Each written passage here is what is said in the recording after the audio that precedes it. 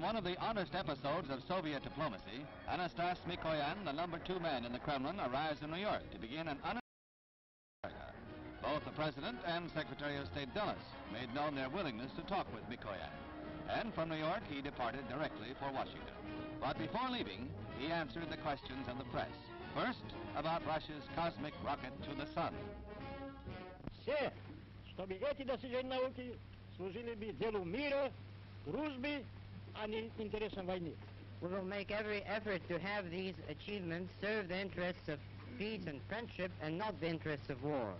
С миром в новом году и впредь всегда. I wish uh, you uh, peace in the new world, in the new year, and forever.